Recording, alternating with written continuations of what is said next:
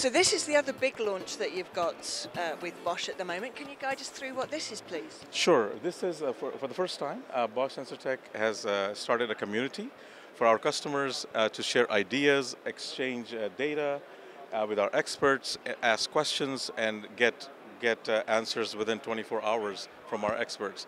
So this gives them an avenue to to get uh, their products to market in early.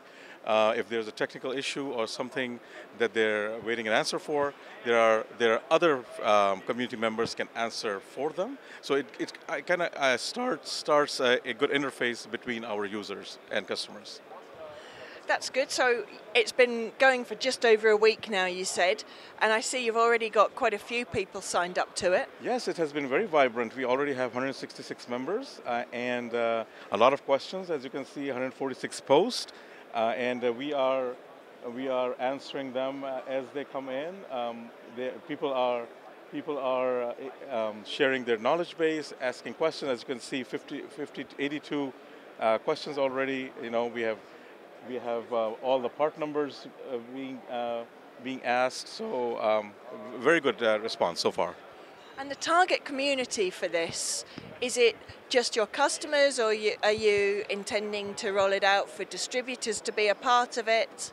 Uh, it's it's uh, intended for everybody our customers, our partners, uh, our internal technical experts, everybody who has who would like to share their ideas and knowledge. This is the avenue for them. So it could be used to help people in their next designs in a design platform. Absolutely. Uh, like I mentioned, uh, any questions in regards to our technology, any any issues they might be seeing uh, in regards to our product, uh, this is the place that they can come and ask those questions and get answers right away.